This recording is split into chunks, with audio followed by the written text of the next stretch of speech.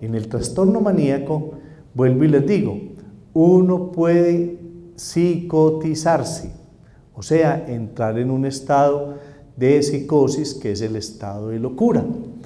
Y en ese trastorno afectivo, en ese trastorno maníaco, entonces uno puede empezar a escuchar voces, ya les había dicho, voces que le empiezan a decir que es que uno es el enviado de Dios, que es que uno es el encargado de, limpiar a este mundo de todo el mal que existe, eh, que Dios lo autoriza para que haga limpiezas sociales.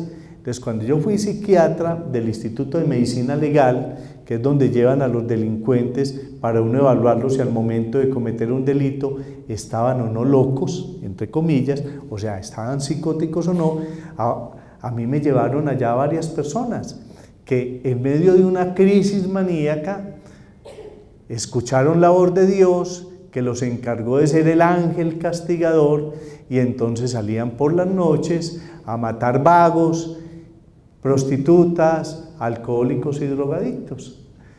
Y ellos estaban absolutamente convencidos en medio de esa manía de que estaban haciendo un bien a la humanidad. Un bien a la humanidad. Entonces mire, ¿a dónde lo puede llevar a uno un cuadro de este tipo?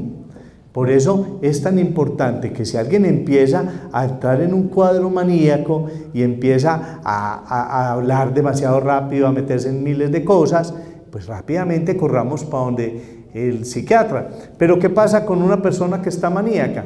La persona que está maníaca, a diferencia del que está deprimido, él se siente muy enérgico, siente que está muy bien, siente que él es el rey del mundo y entonces uno cómo se va a sentir enfermo por Dios.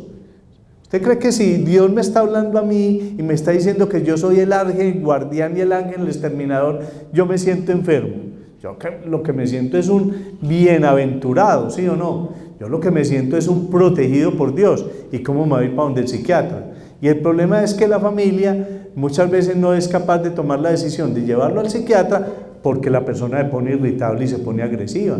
Entonces eso se convierte en un problema demasiado complicado. Por eso siempre hay que estar pendientes de lo que está pasando para no dejar llegar a la crisis. Y por eso cuando uno tiene en la familia ya un paciente diagnosticado con trastorno afectivo bipolar, tiene que estar muy atento a, los primeros síntomas porque ahí es donde hay que correr. Y en esos primeros síntomas, tanto de la manía como la de la depresión, los primeros síntomas siempre tienen que ver con alteraciones en qué? En el sueño. Por eso uno siempre le dice a las familias, vamos a estar muy atentos a los síntomas de riesgo, a las cosas que me pueden señalar peligro. Y la primera es que se pierde el sueño, dejo de dormir. La segunda, si está depresivo, que no se quiera levantar. O si está maníaco, que no se quiera acostar. Que porque, ¿cómo así? La vida es muy cortica para estar durmiendo. Hay que estar muy pendientes de el discurso, si es que yo soy un estorbo porque estoy deprimido o es que yo soy el de huacas porque estoy acelerado, ¿no es cierto? Entonces hay que estar muy atento a esos primeros síntomas para no dejar que las cosas lleguen y correr para un servicio de urgencias o para donde el psiquiatra.